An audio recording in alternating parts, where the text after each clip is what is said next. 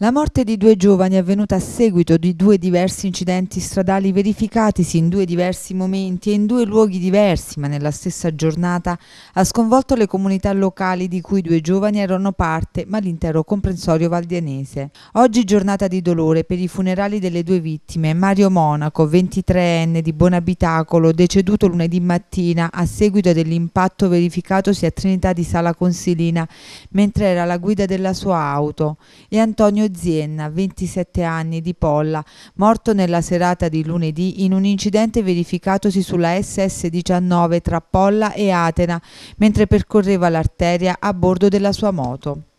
Nella giornata di oggi i funerali delle giovani vittime previsti in forma ristretta viste le disposizioni vigenti in materia di anticontagio, ma la partecipazione fuori all'ultimo doloroso saluto a chi ha perso la giovane vita tragicamente, colpendo duramente i cuori di tutte le comunità valdianesi è comunque tanta. Questa mattina alle ore 10 presso la chiesa Cristo Re di Polla le celebrazioni della Santa Messa Esequiale di Antonio Zienna.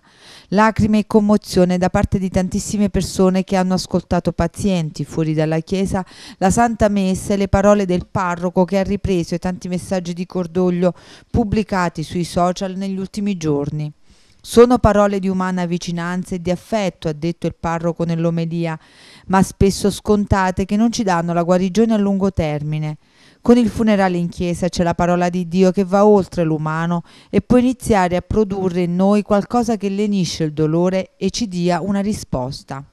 Questo pomeriggio alle 17 l'ultimo saluto da parte della comunità al giovane e amato Mario Monaco, 23 anni, altra giovane vita spezzata in quel terribile 3 agosto scorso e la cui morte improvvisa e tragica, avvenuta nella mattinata di lunedì, ha profondamente segnato tutto il Vallo di Diano, ma in particolare Buonabitacolo, dove il giovane era molto conosciuto e amato per il suo animo aperto e gioviale.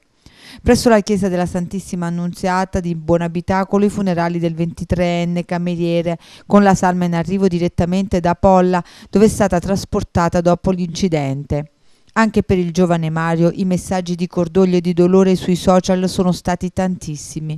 Un piccolo ma significativo modo per testimoniare la vicinanza ad una famiglia che nella mattinata di lunedì si è risvegliata con la più drammatica e dolorosa delle notizie e che ha lasciato nel loro cuore una ferita che sarà difficile da rimarginare. La morte drammatica ed inspiegabile dei due giovani ha ferito profondamente l'intero comprensorio. A dimostrazione di ciò arriva il gesto simbolico dei commercianti di Sala Consilina su invito dell'associazione Io Centro che ha proposto di abbassare alle ore 12 di oggi le saracinesche dei negozi per un minuto in segno di lutto e di vicinanza alle famiglie Monaco e Zienna per la drammatica morte dei due giovani Mario e Antonio.